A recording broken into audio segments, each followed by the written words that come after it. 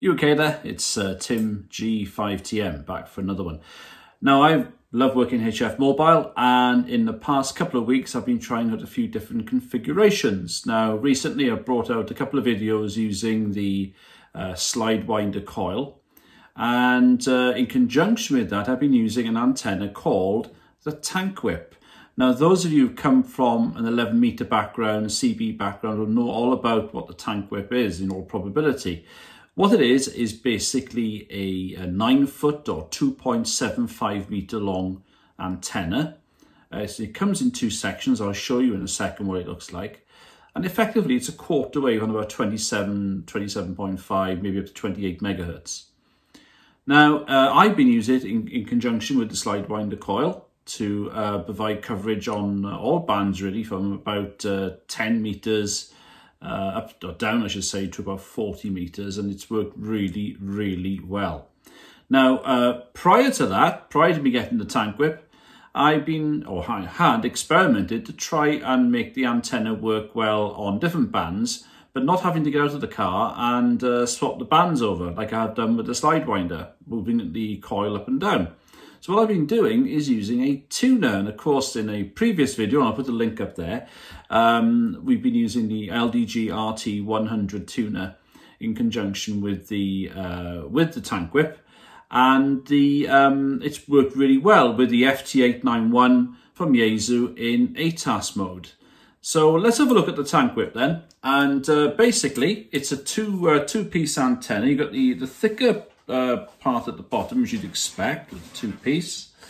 Uh, each um, is just over four feet long, uh, which is about 1.3, 1.4 meters. This is the, the bit in the middle. You can see there's a grub screw there, and it comes with a little, little hex key and basically Allen key. And basically what you do is you just loosen that up and you slide the top part in here, look, and it goes in.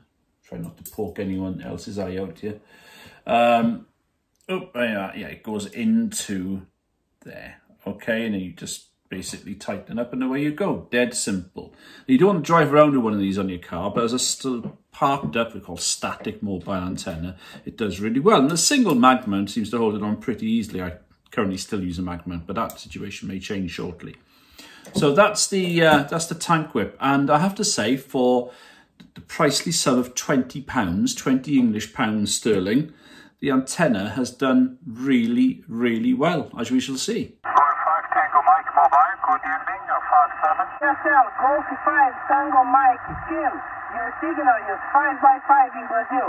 Germany 5, uh, Tango Mike uh, Mobile, Oscar Delta 5, Tango X-Ray, you are 5 and 9. Germany 5, Tango Mike, Station Mobile uh, team, New Zealand 5 and 9, Canary Island, very strong, yes sir?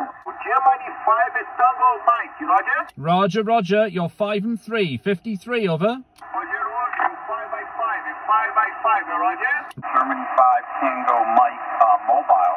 Uh, this is AJ1U. Uh, thanks for the call. Uh, name is John, Juliet Oscar November.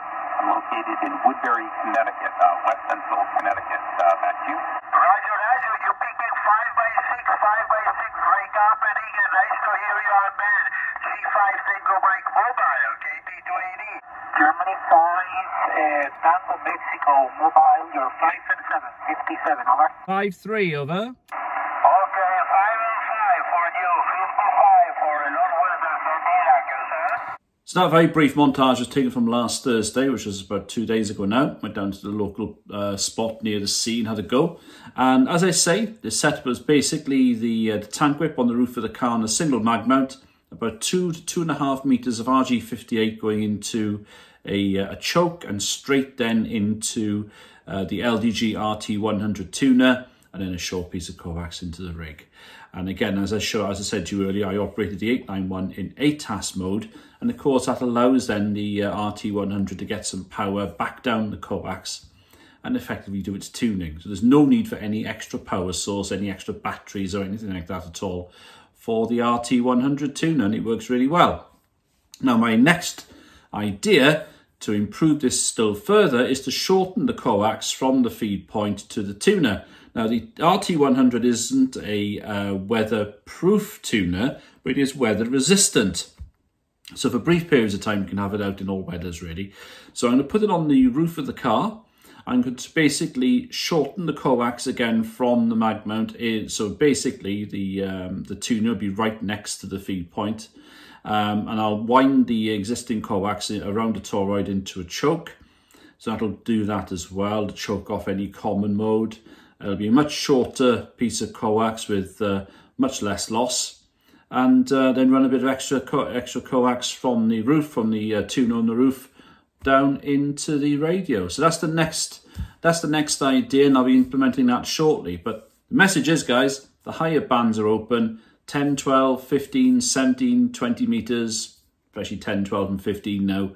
Get out there and enjoy yourself and get some nice contacts using HF Mobile. Thanks for watching, and if you like what you see, then click subscribe and uh, click like and that notification bell for any future videos. Take care, and uh, if you're going out to work HF Mobile or whatever you're doing, I wish you the best with it. Bye now, to the next time. See you soon.